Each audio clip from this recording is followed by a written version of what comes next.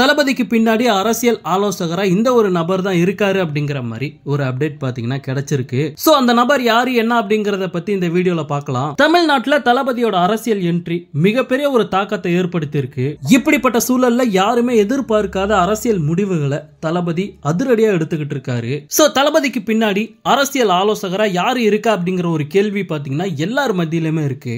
அந்த வகையில அத பத்தி இப்போ ஒரு நியூஸ் பாத்தீங்கன்னா வெளியில வந்திருக்கு. ஆமா நண்பா ஜான் ஆரோக்கியசாமி அப்படிங்கிற ஒருத்தர் தான். தளபதிக்கு அரசியல் ஆலோசகரா இருக்காராம். இவர் தமிழ்நாட்டை சேர்ந்தவர் திருச்சியை பூர்வீகமா கொண்டவர் அப்படிங்கிற மாதிரி சொல்லப்படுது. வெளிநாடுகள்ல பல நிறுவனங்கள்ல உயர் பதவிகள்ல இருந்தவர் அப்படிங்கிற மாதிரி சொல்றாங்க.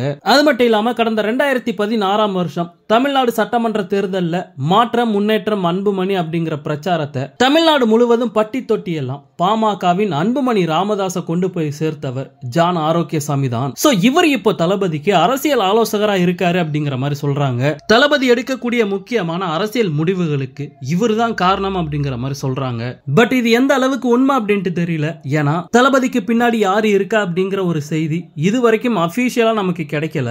ஓய்வு பெற்ற ஐஏஎஸ் அதிகாரிகள் நிறைய பேர் தளபதிக்கு பின்னாடி இருக்காங்க அப்படிங்கிற மாதிரிலாம் சொல்லப்படுது. அந்த வரிசையில இப்போ ஜான் ஆரோக்கியசாமி தளபதிக்கு பின்னாடி அரசியல் ஆலோசகரா இருக்காரு அப்படிங்கிற மாதிரி ஒரு செய்தி வெளியில வந்திருக்கு. எது எப்படியோ தளபதி கூட இருக்கவங்க நல்ல முறையில அவரை வழி நடத்தினா போதும். ஓகே நண்பா இந்த மாதிரி தளபதியோட எல்லா அப்டேட்டுமே மிஸ் பண்ணாமல் பார்க்க நம்ம சேனலில் சப்ஸ்கிரைப் பண்ணி சப்போர்ட் பண்ணுங்கள் தேங்க்யூ